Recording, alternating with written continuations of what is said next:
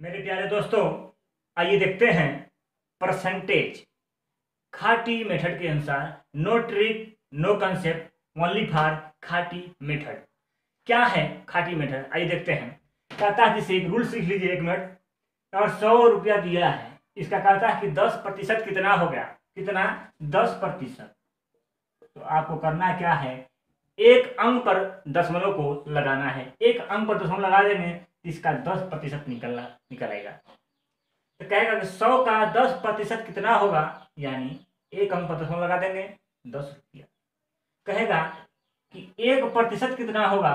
तो दो अंक पर दशमलव को लगाएँगे तो सौ का एक प्रतिशत निकालना है तो दो अंक पर दशमलव लगा देंगे। कितना हो जाएगा? सौ का एक प्रतिशत एक रुपया। क्वेश्चन कहेगा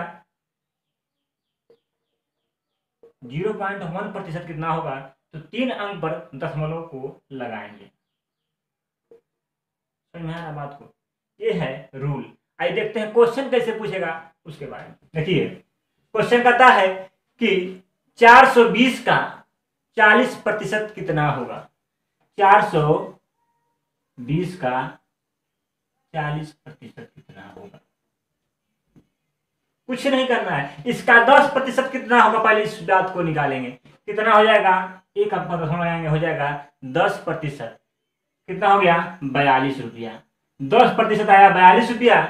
और निकलना कितना है? चालीस प्रतिशत। इसका मतलब चार से गुणा कर देंगे तो दस से के चालीस हो जाएगा तो चार में गुणा इसमें करना पड़ेगा। तो चार से इसमें गुणा कितना हो जाएगा? चार गुना के आठ, और चार चौक सोलह, एक सौ अड़सठ।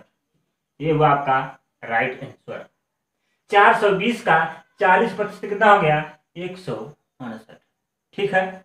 अगला पूछिएगा अगला क्वेश्चन कहता है कि पाँच सौ पैंतालीस का दस प्रतिशत कितना होगा? पाँच सौ पैंतालीस का दस प्रतिशत करता है यानी एक अंक दशमलव लगाएँगे।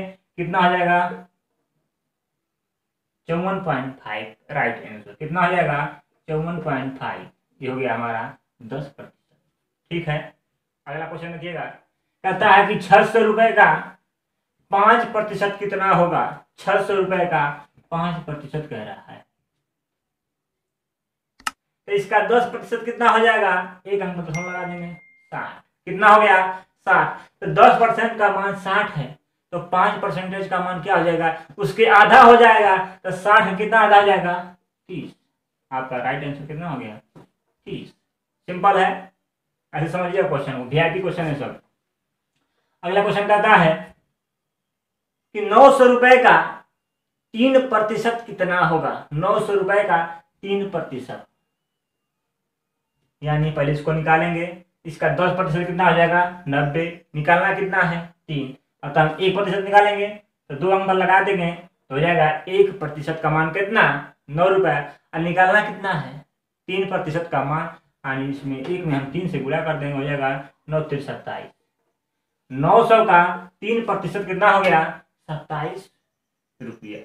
अगला क्वेश्चन देखिएगा, कहता है कि आठ सौ रुपए का चालीस प्रतिशत, का चालीस प्रतिशत कितना होगा? आठ सौ रुपए का चालीस प्रतिशत अफिन का चालीस प्रतिशत कितना होगा?